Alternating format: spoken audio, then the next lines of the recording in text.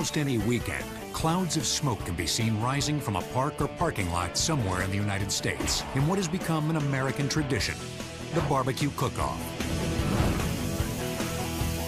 Competitors haul in all manner of cooking contraptions, from simple smokers to custom-built steel behemoths that look like Jules Verne had a hand in designing them. Eye-catching team names and equipment, along with a laid-back party atmosphere, help draw in the public.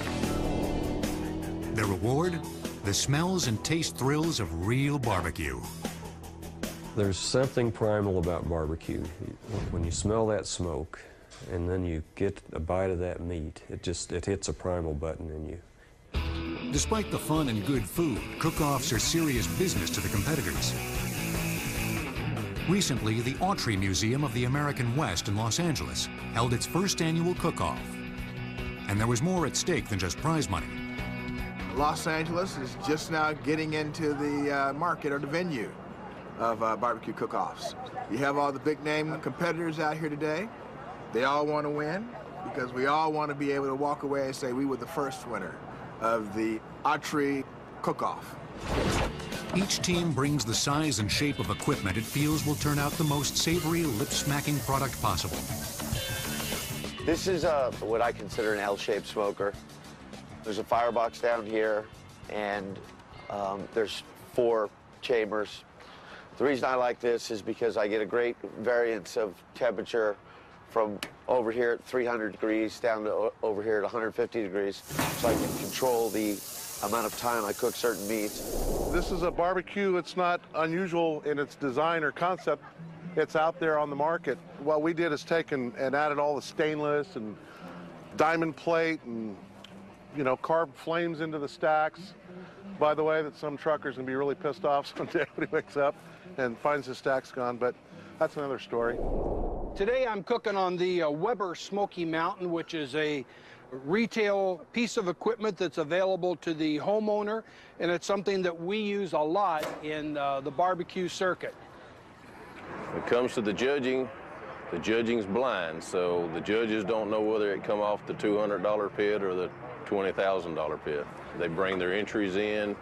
We actually change the numbers, so there's no chance that the judges will know whose entry they're judging. And they judge that on appearance, taste, and tenderness. Not all cook-offs are run the same. In South Carolina, the tradition is to cook whole hogs, which can take up to 20 hours or more. To keep things fair, the hogs are supplied to the contestants the day the cook-off begins, so no preparations can be made in advance. Thank you, sir. All right. Cooking whole hog really separates the men from the boys. It is tough. Anybody can cook some ribs, even I can cook ribs, but it takes an artist to cook whole hog. Many contestants come armed with units custom built to tackle the task of cooking a really big pig. They've also got a practical knowledge of physics. How this thing works is it's fired from the bottom, and we burn wood. We burn either peach or wild cherry. It's an indirect cooker, meaning the flames come up, hit the bottom of the water pan, heat the water up so you've got a mild, moist, gentle steam rising from the bottom. Then you got the dry heat that comes up around the sides of the pig and then drafts back out the top. And what that does, it rolls inside. And you've got dry heat meeting moist heat. So therefore, you've got a, a natural convection. It gives you a real mild, real tender, very, very, very smoky flavor to your meat. To the diehards on the cook-off circuit, the term barbecue is often misused by the general public. One of the most important things for people to understand is the difference between barbecuing and grilling. And there is a big difference. With grilling, you're cooking hot and fast, searing the meat over the direct influence of the flame, and you're cooking at temperatures of 400 plus degrees. Now, barbecuing is the exact opposite. You're cooking low and slow, 180 to 225 degrees, indirectly away from the flame and away from the heat source. The origins of this low and slow culinary art have been obscured in a smoky mixture of history and folklore. But I always heard that over in China, a house burnt down, I'm probably wrong, and had some pigs in it. and so they still went to tasting it, and that's how barbecue came around. That might just be an old fairy tale, but I'm telling you what I heard. Through the ages, everyone from cavemen to the kings of England has enjoyed a feast of wild game or livestock cooked over an open flame. But we can't really be sure if their cooking techniques qualified as barbecue. There's a greater degree of certainty, however, about the origin of the word itself. When the Spanish were exploring the New World, they came across the native people of the West Indies cooking their meats over a smoky fire on a rack made of green saplings, called a barbacoa. The Spaniards came to call it barbacoa. Still, the smoked flavor wasn't so much the aim of the process as an accidental byproduct. The real purpose of the technique was to preserve the meat and simply keep the flies away. From here, the history of barbecue in North America splinters according to region. The Carolinas tradition of cooking whole hog originates with their earliest settlements. The pig is not indigenous to, uh, to the Western Hemisphere, to the Americas. And so the Europeans, the Spaniards, brought the pig with them. And the first colony, the first colony of any European nation was in South Carolina. And there their Indian friends were, the Native Americans. They are the people who actually had learned how to cook with gradation of heat. In the Southwest, barbecue evolved on the frontier cattle drives, where cowboys rode the range with a beef dinner walking right next to them. Today, Southwest barbecue is still identified with the cowboy mystique. The decor in restaurants like the County Line in Houston, Texas, reflects the region's Western heritage. But as far as the food is concerned, Cowboys never enjoyed meat barbecued in large wood-burning smokers with a heavy-duty rotisserie system. This is the heart of the restaurant, this, the, the smokers, uh, called pits. And uh, you got a chain driven by a very slow speed but very high torque motor. And it needs to be high torque. It's got to have a lot of strength. You're going to end up with 160 racks of baby backs in there, perhaps uh, 50 briskets. You're talking about maybe a thousand pounds of meat. Then this pit is huge. It's a big piece of space in there. So you gotta do the whole thing, cooking through it back and forth, up and down on it. And that's what the chain and the rotisserie system achieve for us. The cooking heat is determined by the amount of wood burning and a temperature control that operates dampers to adjust airflow as needed. 175 is our cold smoking temperature. 225 is more of the, the finishing it up. So it's nice and hot uh, for you to eat.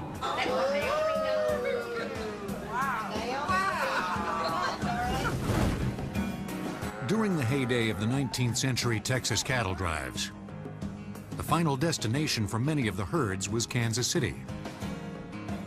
Since the early 20th century, Kansas City and barbecue have been almost synonymous. It didn't originate there, but it was where all the crucial elements came together. Kansas City became a barbecue mecca because, well, first of all, we had people with barbecue knowledge who migrated primarily from southern states. We also had lots of hickory and oak nearby. We also had the meat because we had a huge stockyards. That's the combination you need. It's been a great marriage. Back then, barbecue was considered poor people's food because the process made even the cheapest, toughest cut of meat more edible. Back in the 20s was, I mean, they even had wild animals they was barbecuing, coon, possum, or meat they discarded from the packing house that the mainstream people didn't want. That's how it started here, Kansas City Barbecue. Gone are the days when barbecue's main purpose was to salvage unappetizing meat. Today, many aficionados make a pilgrimage to this Kansas City restaurant, Arthur Bryant's. Here, they can truly sink their teeth into the city's early barbecue heritage. In the early 50s, Mr. Bryant relocated to here, 17th and Brooklyn. And this used to be an old bakery. This used to be the oven. And Mr. Bryant converted the oven into a pit. That's why you need a good pit man, because the temperature in this pit can get up to 500 degrees. But we try to keep our temperature between 150 and 300 in the process of cooking our briskets and ribs. Greater Kansas City boasts more than 90 barbecue restaurants. Some have gone upscale, while others are decidedly down home. Backyard grilling and barbecuing didn't become a great American pastime until shortly after World War II, when GIs returned home and settled into suburbia. One of them, George Stephen, was destined to help lead the way. My father, like a lot of Americans coming back from World War II, was basically cooking on a brick structure just like this. And uh, it would flare up, he couldn't control anything, so he never was, was very satisfied with the way that worked, which got him thinking about he could do something better. That led him to inventing the original Weber kettle right here. Where the invention really lies with this is in the fact that putting the lid on really affected the way the heat was used in the barbecue and made it more efficient. And by putting dampers in it, he could control the amount of air going through the barbecue so he could control the heat and the flare-up and, and the, the cooking process itself. George Stephen worked for the Weber Brothers Metalworks, and together they made the kettle a big success. It's gone through some variations and refinements over the years, and is now manufactured in an enormous facility in Huntley, Illinois. This is the only factory in the world that makes the Weber charcoal grill. Uh, and behind me, there is machinery making the different size charcoal grills that we manufacture. We have 200 ton to 500 ton presses to press the different shapes of the bowls and lids. On the opposite side of the room are other presses that make the attaching parts for the grills themselves. The way the, uh, the classic kettle is made, or any kettle is made, we put a steel blank in a drawing compound, which was like a soap material, uh, to prevent the metal from wrinkling or cracking. What happens then is the press closes and then a ram comes down through to actually form the shape. From there, the kettles move on to another press to have air holes punched and excess steel removed. After parts are attached, the kettles are hung on a conveyor system.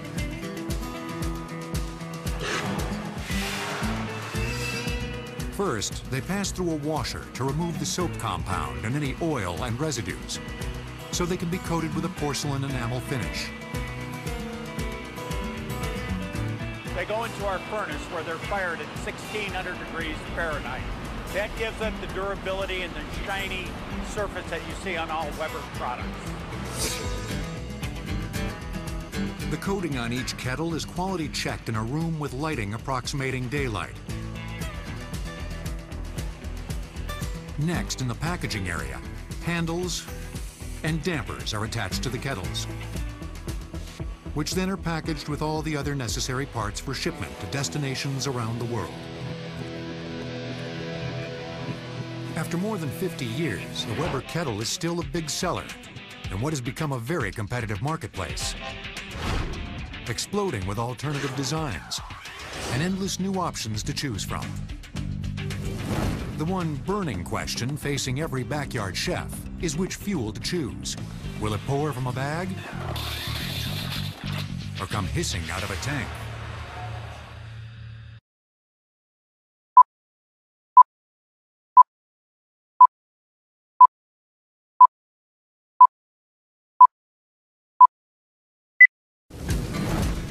The original and the most basic barbecue fuel is wood, especially if the goal is to add a real smoked flavor.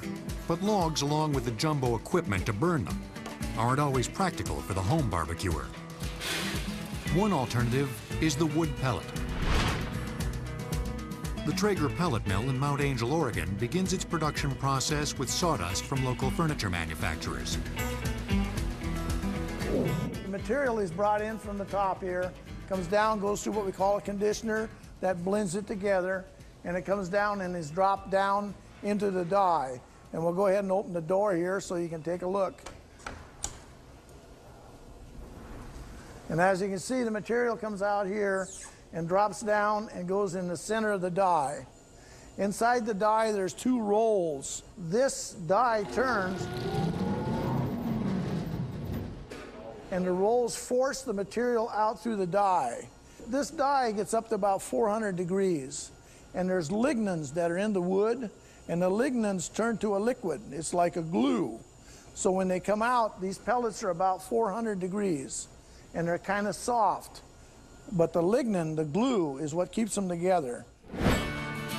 After being extruded and cut into pellets, the material is carried off on a conveyor to be cooled and bagged. A few miles away, in a 100-year-old former dairy building, Traeger Industries also produces its own line of grills. Inside each of them is an electrically powered system developed to efficiently burn pellets. The first component on it is a one and a half RPM motor that drives the auger, which feeds the pellets from the hopper down to the fire pot. On the bottom of the fire pot, there's an igniter. When the burner is turned on, the element heats up and then catches the pellets on fire. One pound of pellets outputs 8,500 BTUs and can last up to an hour or more. The ability to add more pellets to the hopper as needed makes this an efficient way to maintain consistent heat over the long process of real barbecue. A more traditional way to cook barbecue is with charcoal. Charcoal is produced by burning wood until water vapor and other materials are removed, reducing the wood to almost pure carbon. Workers outside of Jackie Hite's restaurant in Leesville, South Carolina, use a firebox to produce a steady supply of coals. The firebox feeds heat to the restaurant's pits for the entire time the hogs are being cooked. This is the way you burn down real wood to get charcoal to put in your pits. It's real charcoal. It's not imitation. Workers carry shovel loads into the pits as needed to maintain the temperature. They're spread around the edges to create indirect heat. The cooking temperature is kept so low that cardboard can be used to cover the pits. You couldn't use cardboard if you get them any hotter than we do. We fire these hogs. In the wintertime, we have to go every 20 or 25 minutes. In the summer, usually every 30 minutes, if you put the right amount of coal to your shovel. While Jackie Hite prefers to burn down his own coals, most of us let others do the hard work and buy them in a bag. When mass produced for commercial distribution, charcoal made from 100% wood is called lump. But for about 80 years, briquettes have been the most popular way to cook over coals, thanks to automaker Henry Ford. It started back in 1922. Henry Ford uh, was the originator. He was looking for something to do with the excess wood he had from making the Model T. Ford learned that he could take this excess wood and make briquettes out of it. The original plant was designed by two prominent people, E.G. Kingsford, who is a relative of Henry Ford and who the brand is named after today, and Thomas Edison. Today, the Kingsford Company uses more than a million tons of waste wood each year. One of their plants, located in Springfield, Oregon, receives several daily truckloads of waste from local lumber mills. Each truck's entire trailer is lifted until its contents are poured out and added to the enormous wood pile. After the product is dumped, we have a bulldozer where what we do is uh, make it into a consistent pile.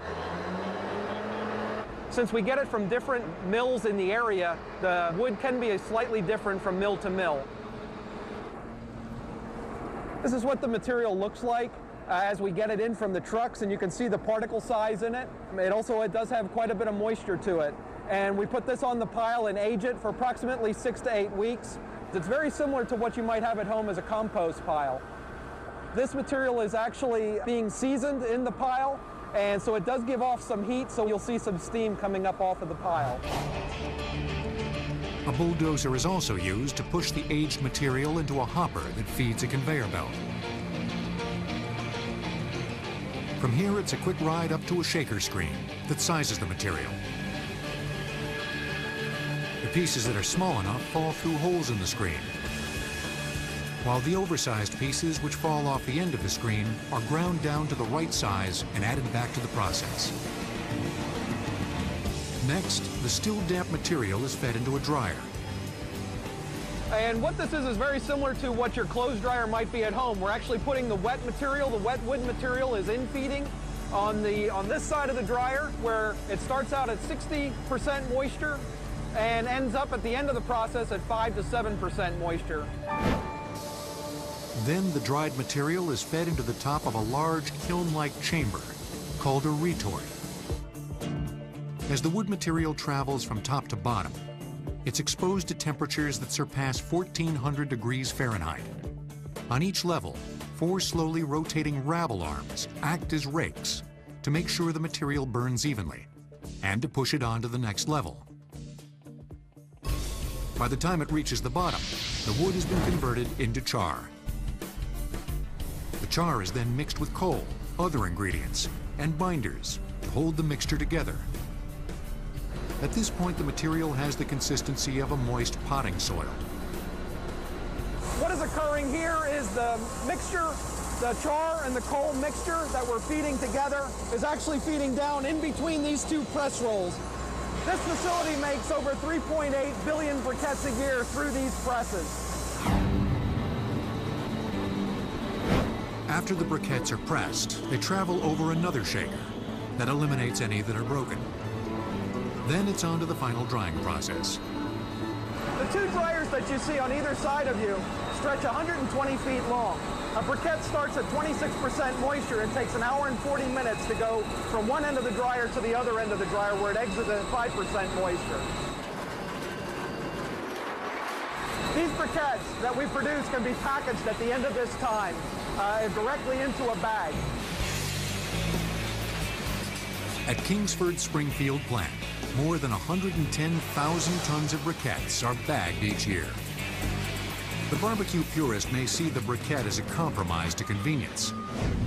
But an even greater compromise to even more convenience is gas. For the last few years, gas grill sales have outpaced charcoal grills. Fueled by a propane tank or a connection to a natural gas line, these grills are ready to cook in a very short time, and their temperatures can be controlled with a turn of a knob. Multiple gas burners allow backyard chefs to cook at different temperatures at the same time. To avoid the flare-ups that often plague gas grills, many create a more indirect heat with a layer of ceramic briquettes or tiles that separates the flames from the food. One technological step beyond gas burners are infrared elements. Thermal Engineering Corporation, or TEC, in Columbia, South Carolina, originally developed infrared for applications like paint drying.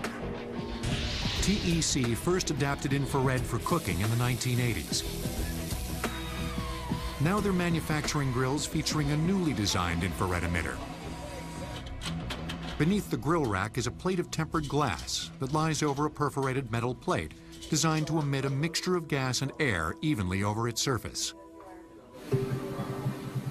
When ignited, the glass plate blocks the flow of hot air so that the food isn't cooked by convection, but rather molecular excitation. Infrared is a form of electromagnetic radiation with wavelengths longer than visible light, but shorter than microwaves.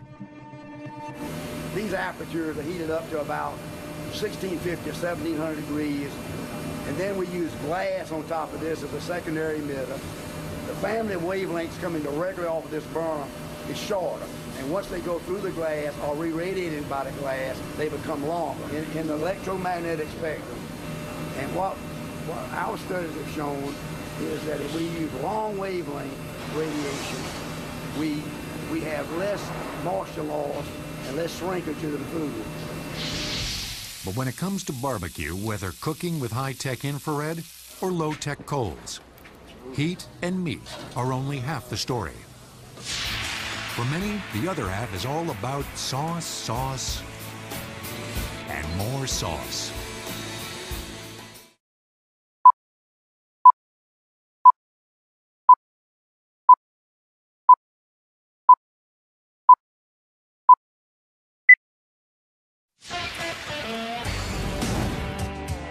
Barbecue is about flavors, adding mouth-watering and savory tastes, using a rub as the hands-on way to spice things up. But the wet and sometimes wild way most of us do it is with a generous slathering of sauce. The majority of sauces are sweet and tomato-based. But in the Carolinas, mustard and vinegar are the key ingredients. The Southwestern approach is to turn up the heat with chili powder and peppers that range from searing jalapenos to hellishly hot habaneros. Well, over the years, they've added a vast array of sauces. There's many different types of raspberry sauces, chipotle sauces, vinegar-based sauces, um, leading to the names of Whoop-Ass, uh, Gates, John Henry's. John Henry's first hit the shelves in 1996. And despite its growing nationwide distribution, it's still a small family-run operation in Houston, Texas. We started out with one gallon of barbecue sauce with one customer. We took care of that one customer, made sure that one customer was always happy. We're around now, oh gosh, a thousand gallons of barbecue sauce, you know, a year. John Henry sauces are made in a cramped kitchen, 40 gallons at a time, in a double-jacketed steam kettle. The main advantage of using this piece of equipment is that it protects its contents from scorching. A gas flame is used to heat water enclosed in a chamber beneath the kettle, which makes steam that circulates in the space between the kettle and the outer jacket, creating an even heat. Perfect for cooking up a sauce. To begin one of our sauces, we start with, of course, water, and then we start with the base of the sauce, which is called a slurry. And that is to give the sauce flavor, give it fullness, and to add more texture to the sauce. And ours has a perfect balance of, uh, of uh, sweet and spices, and uh, there's, there's, some, there's some spices going in now. And uh, my goodness, that looks good. You want to look at that? Let's just take a shot at that, will you? Yeah, that's what it started looking like now.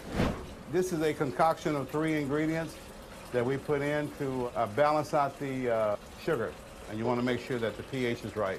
And then once you figure out what that pH, what, what the acid and the sugar balance is, that's the whole secret right there.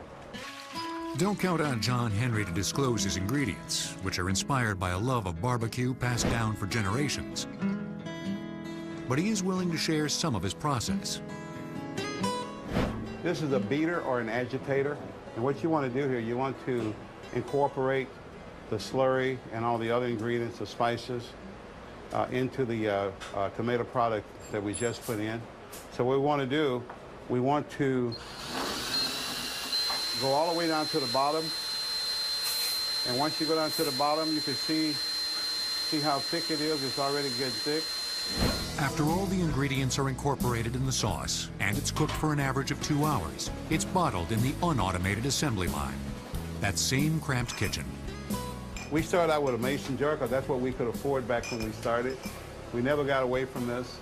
People have wanted to try to put it in a fancy jar, but we, we sort of balk at that. We want to stay with basic. Get through with the sauce, you can make this a water jar, you know? Original Juan in Kansas City, Kansas also manufactures its own sauces. But as the supply of ingredients in their warehouse indicates, on a much larger scale. They also serve as a food processing plant for many other brands that don't want to invest the time and equipment to produce their product themselves. For our first-time customers, they come out here to the 80-gallon kettles. We work with them that day. They're in here with us. We perfect their sauce in the 80-gallon kettles. Once they determine that they like what we're doing, they're ready to move on to the bigger kettles. We bring them over to either a 200-gallon kettle or a 250-gallon kettle or the Big Daddy 300-gallon kettle. 300-gallon kettle will produce about 2,200 units in a 16-ounce bottle.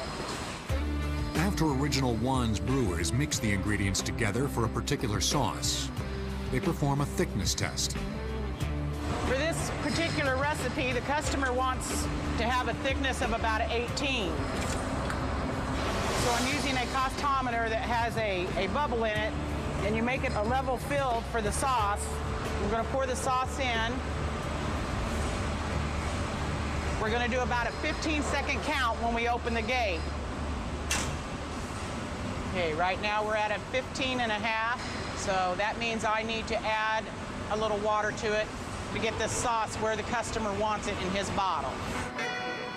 Once the sauce makers achieve the desired thickness, they bring the temperature up to 190 degrees to sterilize the product. Then it's time to attach a hose to the kettle and pump the sauce over to the bottling assembly line. We fill our bottles hot at 190 to 195. We want to pull a vacuum to make sure that we get a seal on the jar. It runs down the line, then it gets a stamp date for a Best By date, then it goes through a bander to put a safety seal on it, goes through a heat tunnel to shrink that on there, then it goes through the labeling system, into the box, right out the door. Developing a recipe for a new sauce is one big challenge. Getting the public to buy it for the first time is another.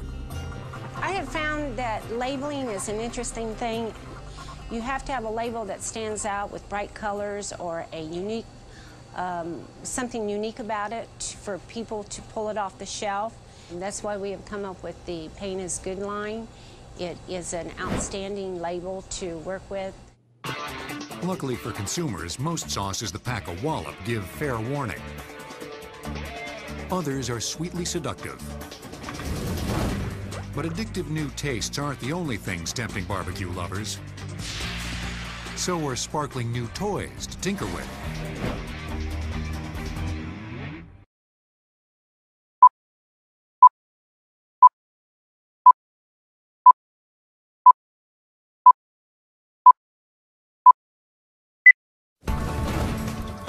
Barbecuing has gone beyond just outdoor cooking. It has become a lifestyle, and in some cases, an obsession. Top-of-the-line grills have become status symbols. Elaborate outdoor cooking islands can have all the conveniences of an indoor kitchen. Where the climate permits, outside has become far more comfortable than inside. Then there's the setting. Dr. David Beatabaugh has created a backyard that can serve up the pre-dinner entertainment while the meal is prepared on an extravagant cooking island. When we moved in here, nothing was done to the backyard, and we wanted to put an outdoor kitchen in so that we could enjoy the view and be cozy by a fireplace, and put a plasma TV in, and then a 24-foot barbecue. We put in Viking refrigerator, Viking ice maker, and a warming drawer. Now, this is important because you can put your plates in here until you're ready to serve. Then we've got a double-side burner. You can a hot plate, or you can uh, create your sauces. You move over here into a 53-inch Viking grill, several burners, rotisserie with double, in, double infrared, as well as a true sear burner. Now that has a low and a high getting up to 1200 degrees, which sears in the juices very quickly, and you can move it over to cook slower. Or you can close the hood and make an oven out of it, take it up to 450, 600 degrees, whatever you like.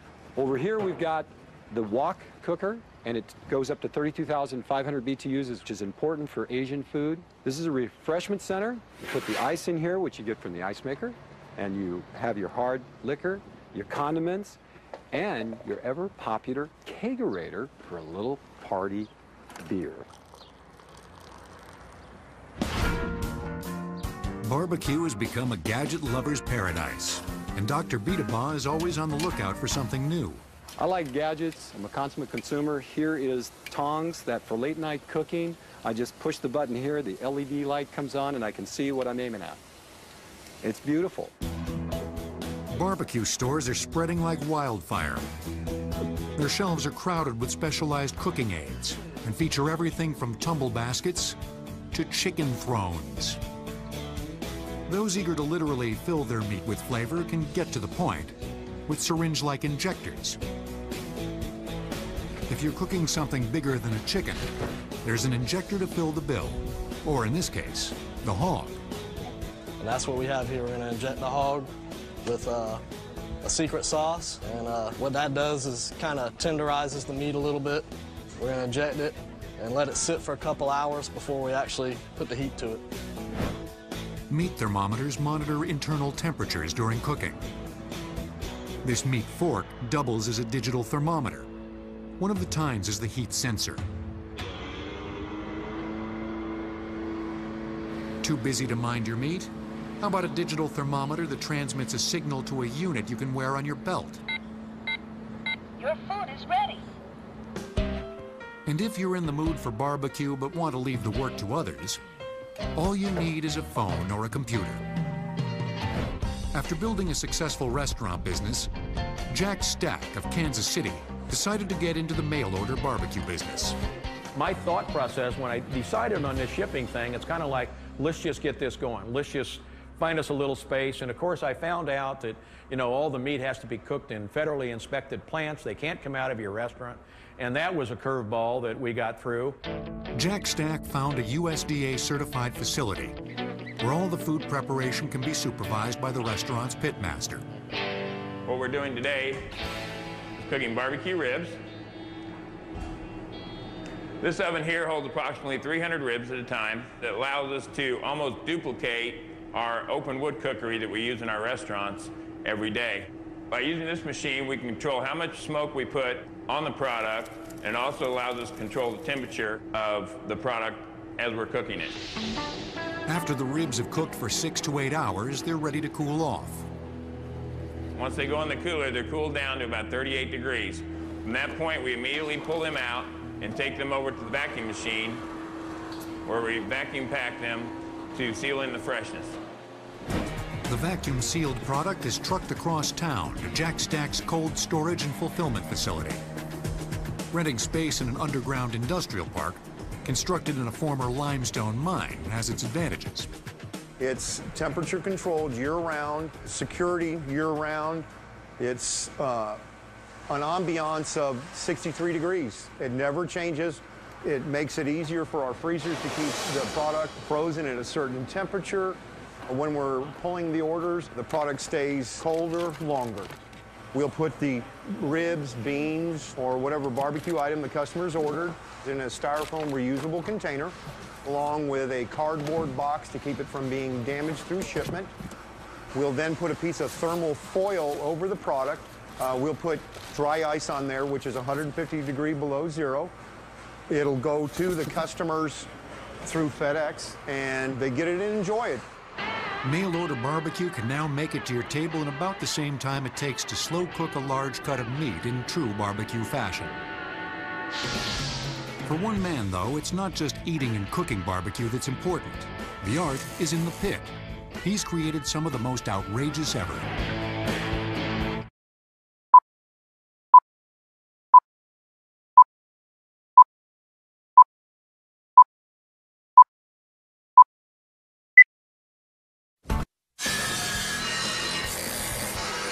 For those in the market for a truly unique barbecue, a visit to David Klose's workshop in Houston, Texas shows why he's gained fame for his handcrafted creations. This is what we commonly refer to as bling bling. The public named it. It's got 24 karat gold mags, gold handles. It's also uh, holds about 600 pounds of meat. Over here we have satellite TV, which gets 1,000 channels, and it's all solar powered. So it operates off of 2,000 amp cranking staggered marine batteries. Now the paint job on this pit is a 100 year Ferrari metal flake burgundy with clear coat. What's interesting is when we put the clear coat on it, it candied it a little bit. Patent leather stools gives you something to sit on, and if you have a shelving, which is actually the fenders, then you've got gold-plated faucets and three sinks. You have 30-gallon water tanks underneath and holding tanks, a spare tire on the front, and then the gas injection for the firebox as well as the fish fryer burners, and you've got a complete package. David founded Barbecue Pits by Klose in 1986. He manufactures several styles of professional and consumer pits, all built by hand, in the spirit of old-style iron foundries. This is one of the composite pits that we built. It's actually two separate pits built in the same line. It's uh, probably about 12 feet long. It's got dual pull-out shelves, slide-out trays, upright slow smoker, and a unique steak grill that hand cranks to any cooling height that you want. All you have to do is lock it and walk away and it won't continue to cook, it'll keep it warm. David may have constructed some of the best barbecues ever built, and he certainly constructed some of the oddest. We have the distinction of building the world's largest pit in the world. It was 80 foot long and probably do about 15,000 pounds of meat. This is the world's smallest barbecue pit. It's fired with one pecan in the firebox and then just big enough to put one Vienna sausage inside. I'm always looking for stuff to make into a new pit. We found this out in the country. It was crushed, so we straightened it out over a month period, and it turned out to be a baby carriage. Uh, later on, we found out it was a 1906 baby carriage from London, so it shows that there's nothing safe from a welder's touch. Some of the things we made were foam booths, beer bottle pits. Just recently, a couple weeks ago, a friend of mine gave us a 1938 mailbox. It was completely rusted. It was amazing with a little bit of paint, add some shelving inside, and you've got a natural blown Texas smoker. One of David's most meticulously constructed cookers was commissioned for the Continental Airlines barbecue team. It's an exact one-tenth scale replica of a 777 wide-body jet. We went to David because he was the most renowned barbecue builder and pit builder in Houston and sat down and started the initial drawings and everything with him.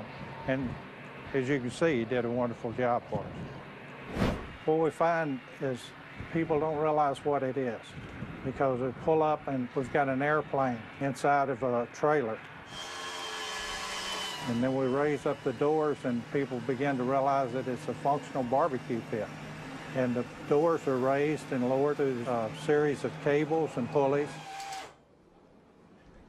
When we're cooking, we have the fire up to temperature, we close the doors, and the smoke travels through the fuselage and exits up through the tail on the top of the trailer. While David gets a kick out of taking barbecue into the 21st century, he's also a proud Texan Rolling out his chuck wagon rig takes him back in history. Despite all the crazy contraptions we build, at the end of the day, we like to go out and take a model out and celebrate our Western heritage. we like to keep that spirit alive in the community of America. Barbecue really has become America's cuisine. Whether you spend way under $100 or hundreds of thousands of dollars on equipment, it all comes down to a matter of taste. Barbecue is whatever you want it to be, whatever you want it to taste like.